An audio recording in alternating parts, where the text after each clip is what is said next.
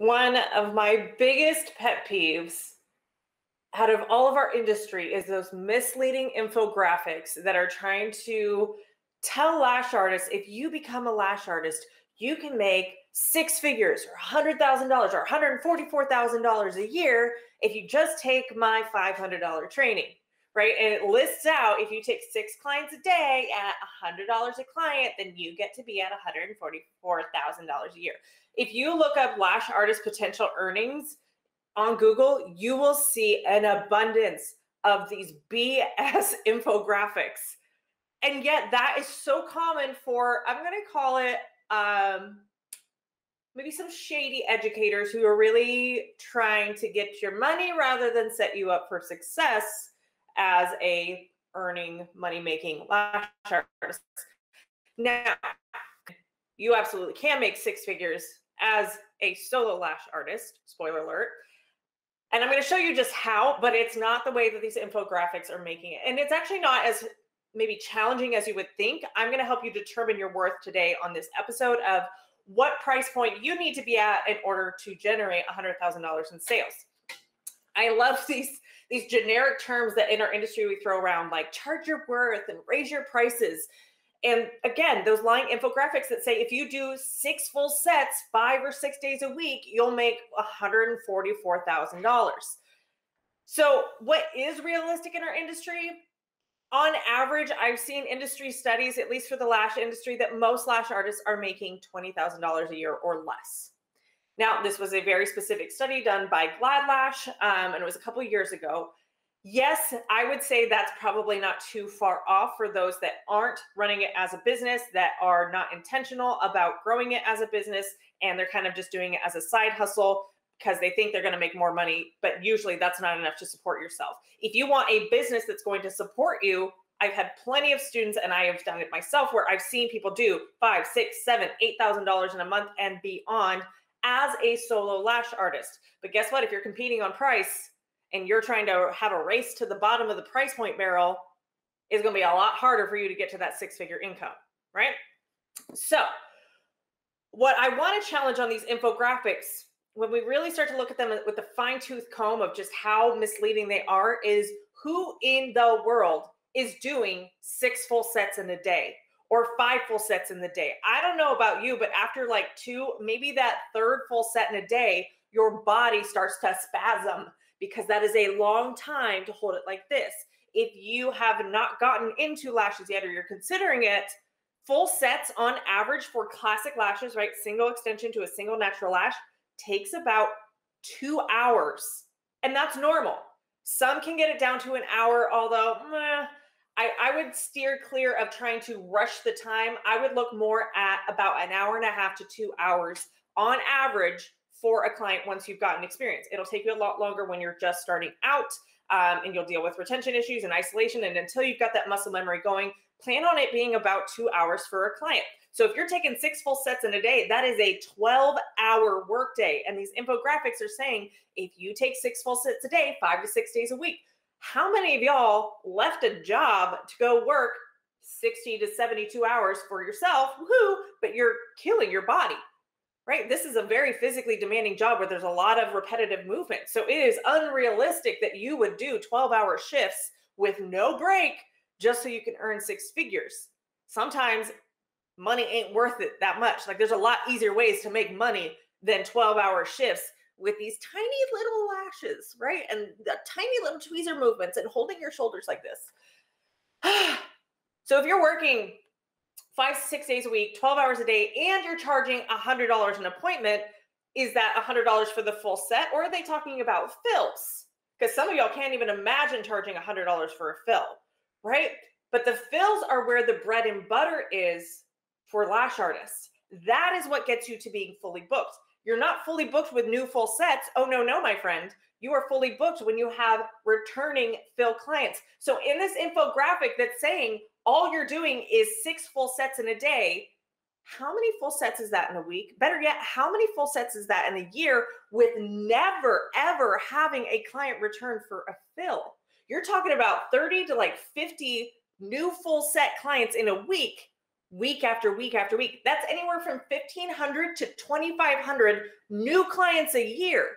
And I'm telling you, sister, if you can get that amount of new clients into your business, A, let's have a conversation because you are a marketing genius that you can get that many new clients in the door. But B, we also need to have a conversation about how much time and energy and money you're wasting on trying to get new full sets in the door rather than getting the current full sets in to come back for fill appointments. So again, these misleading infographics of like make $144,000. It's so easy. Just get lash trained and like you'll be on your way. I'm sorry to break it to you, but it's a big old fat bag of BS. So now that we've started to break down this misleading infographic, is it realistic for a solo business owner to achieve a six-figure business? the charge your worth conversation. I really struggle with that in our industry specifically because when we tie worth to a dollar amount, my dear sweet lashpreneurs and friends in the beauty industry, there is no amount of money that will ever make you feel worthy if you don't already feel worthy before you have the money. So if you think a six-figure business is going to make you feel all good and and it's going to make you feel like you're just amazing and you're so confident and like look at me now, I, am here to break it to you. I've seen many people reach that level and they still struggle with the same self worth and confidence issues they had at $20,000 in sales a year. Never base your worth around a price point, right?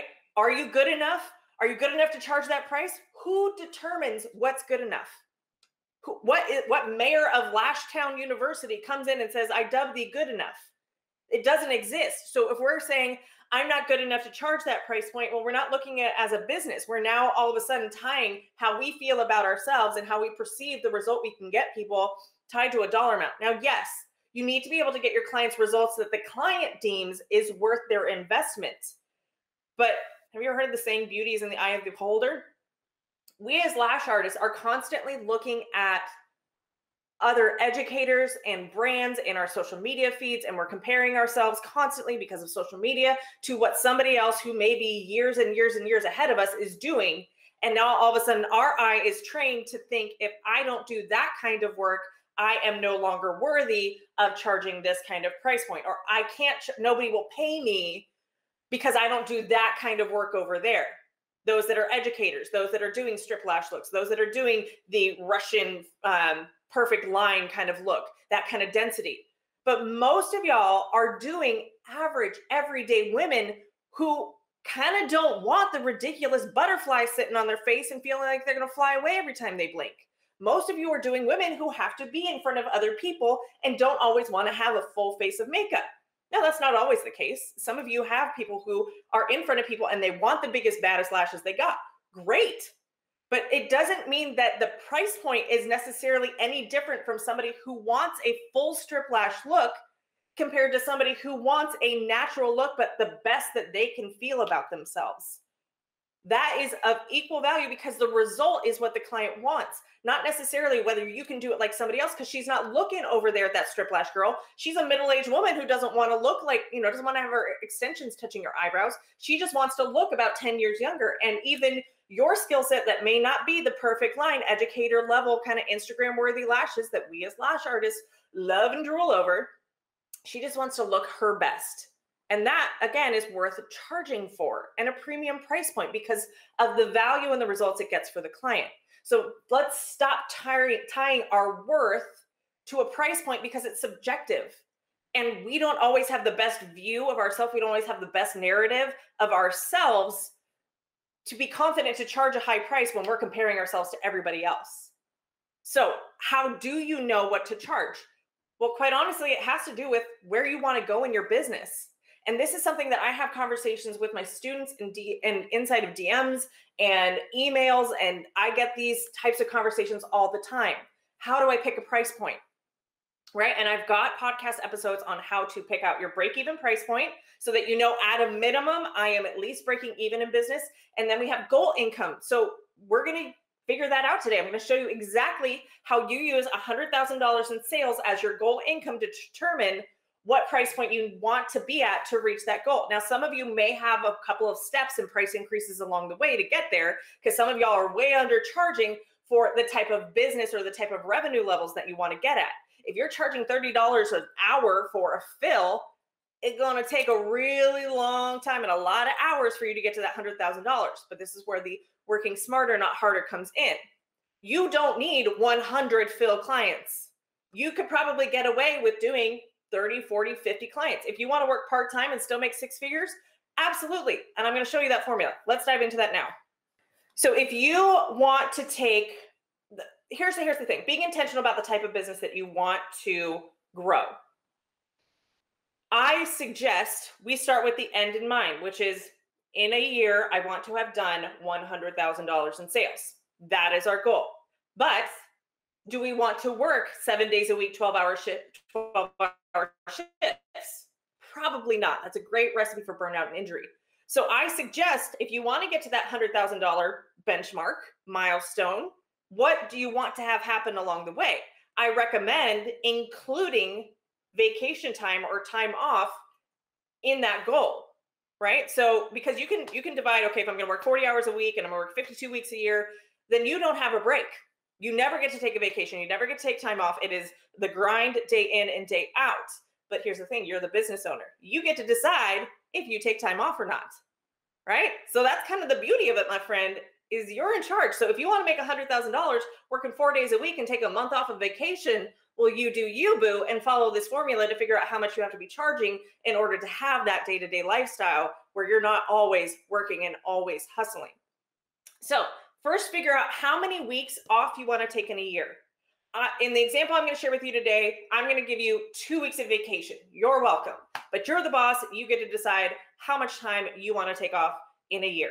Now that could be two weeks of vacation. That could be a week of vacation here and here. That could be that you take every other Saturday off and over, you know, the course of a year, that's like 10, 14 days, whatever. Uh, the next thing I want you to figure out is how many days a week do you want to work? Again, we're looking at the ideal schedule because if we're not working towards an ideal schedule and the type of business and lifestyle that we want, what are we doing here? Might as well go work for somebody else who handles all the other sides of business so that we don't have to, we can just clock in and go home and clock out. No, clock in, work, clock out, go home. So, how many days a week do you want to work? And then how many day or hours in a day do you want to work? Those are the three things that I want you to think about first before we ever get into the nitty gritty logistics of what you need to be charging in order to have the business and the sales and the lifestyle that you want. So, for the example today, I'm going to do two, I'm going to give you two weeks off for a year working four days a week and a max of seven and a half hours in a day right? That's that's a pretty good schedule. You've got three days off during the week you only work 50 weeks a year and you only work seven and a half hours a day. So you know you're taking anywhere from four to six maybe seven clients depending on the types of services. So in this formula we take the 52 weeks we have in a year and we take out our two weeks of vacation because we're not working that time. So we're not going to account for any income coming in during those weeks that we're off so that leaves us with 50 weeks worked in a year. Okay. If we're working 50 weeks in a year, four days a week, then we in a year's time have 200 work days in a year. So we're going to use this, and I'll show you the formula here in just a second and how you figure out how much you need to be charging per hour. So if we have 200 work days a year and we're working on average seven and a half hours a day, then the total amount of work hours that we have in a year is 1500 hours of work. Okay, so that's how we get to an hourly amount in a year's time. If you're working 200 work days a year and you times that by seven and a half, seven and a half hours a day, then you get to 1500 work hours in a year. So this here is the formula to determine your average sales per appointment. You take the total number of work hours in a year and you divide that by your annual sales goal. So for our example here, we've got our 1500 hour work hours in a year and we're dividing that by $100,000 in sales. So drum roll please. That means that you need to be charging an average of $66.66 an hour in order to reach your $100,000 goal. Now, how many of y'all are like, that's it? Oh, I thought it would have been way more. Right? This is where we start to work with the end in mind. How much do it, and that's an average. So if you get a full set that comes in for $150 and it takes you two hours, that's what, $75 an hour? So you're already bumping that up. And maybe you charge $50 for fills. Well, maybe we might need to do a price increase to 55 or $60 an hour to start to bump up the average amount of sales that we get per hour. Now, you can go in and look at any of your past monthly sales to determine this this um, what you're currently charging per hour in a sense of look at your total sales from last month and calculate kind of look at the appointments you had and how many hours that you worked last month. Do the formula. Total number of hours you worked divided by the number of sales that's going to give you an average hourly rate. So now the goal then becomes not i want a six figure business i don't know how to get there it goes i want to average $66 per appointment so instead of this six full sets a day, you look at the average of what you're doing per client. So this is where we don't necessarily have to do a price increase, although some of y'all, most of y'all could probably use a price increase and be just fine. Um, but maybe it's adding in retail. Tip would certainly count in this, right? So if you're getting, you're charging 50 bucks, but you're getting a $10 tip on it, well, then you're averaging $66. Again, as a solo lash artist, right? Because that money's all going to the same pot anyways. It's not like you're handing that off to somebody else. Sales and tip, when you're a solo lash artist, it's all in the same pot. Um, so what is it that you need to do to either increase your average so you're at your goal amount per hour is it what you need to do to hit your average? Do you need more full sets? Do you need to raise your prices? Do you need to add retail? Do you need to upgrade some of your classic clients to volume lashes because it's a higher price point per hour? Um, waxing is oftentimes the highest dollar amount per hour. Could you charge $20 for a brow wax and it takes you 15 minutes? Think about doing four brow waxes in an hour, right? You're at $80 for an hour, but they're 15, four 15 minute appointments plus tip, right? Um, so if you start to aim for average, look at on average, what am I making per hour? And is that keeping me on pace with reaching my goal of this $100,000 in sales? So just as a little bit of a caveat that I want to hit back and swing back around on that we don't take home everything the business brings in. Unfortunately, there's this little thing called the government that really wants your money. So if you're profitable, meaning that you have made more money than you've spent as a business, then you're going to have to owe taxes.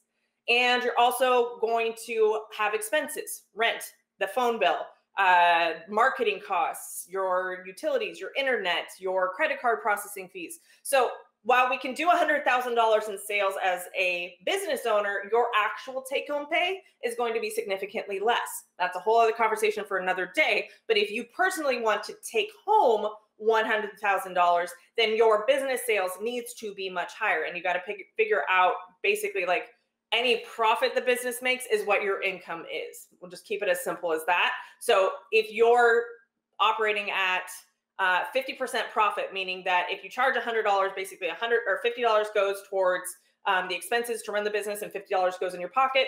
Well, then you need to actually be doing $200,000 in sales in order to take home $100,000 in sales. But we'll get into that in another day. Today, I want to focus on how do you get to the point where you can earn $100,000 in your business.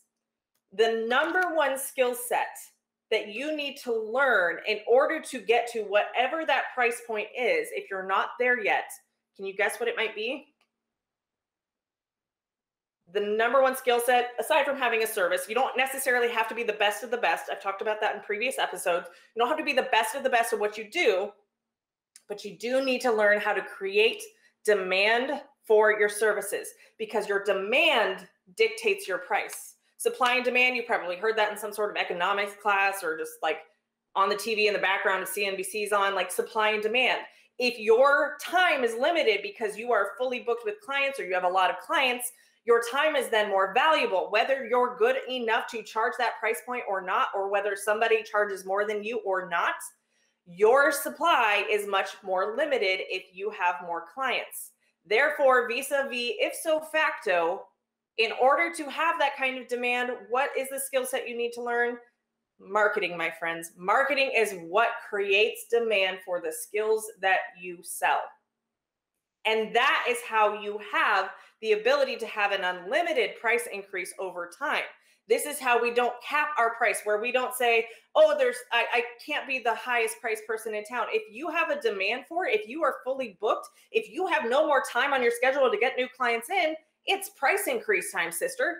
Be with the goal of dropping off clients who are unwilling to pay the higher price so that we can get the higher price paying clients in because you have enough demand to warrant a price increase.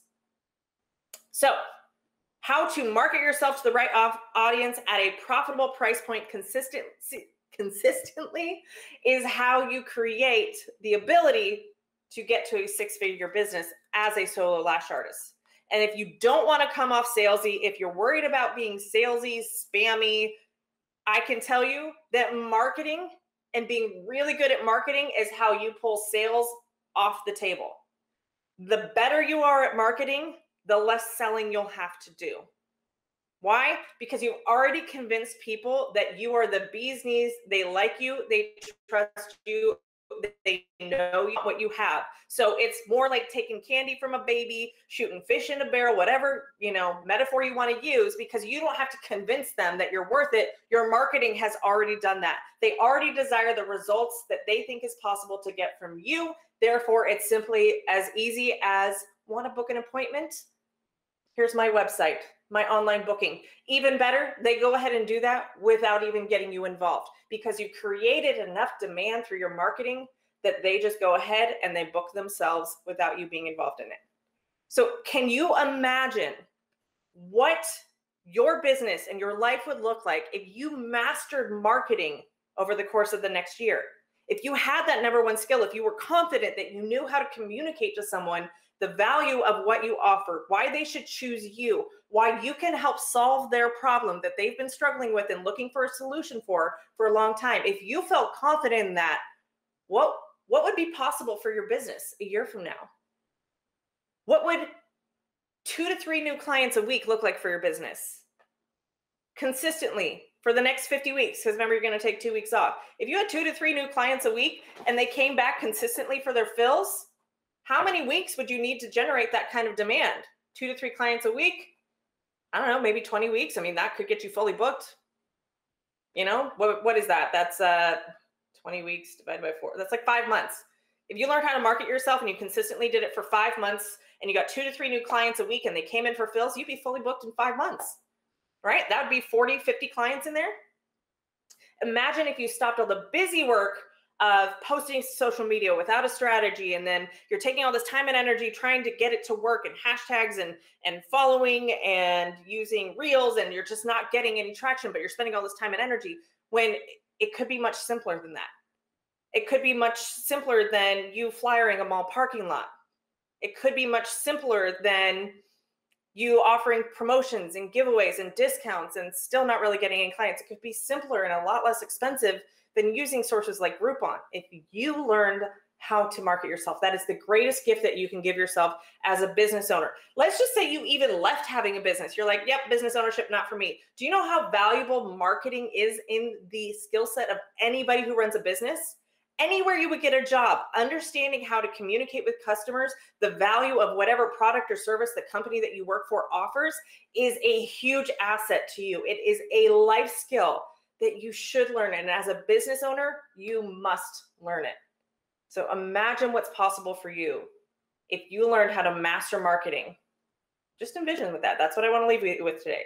So, yes, totally possible for you as a solo business owner to create six figures in revenue in one year without overworking yourself, working part time, making a full time income, making more money than you're probably making now, all because you had worked with the end in mind and you were strategic in how you got there.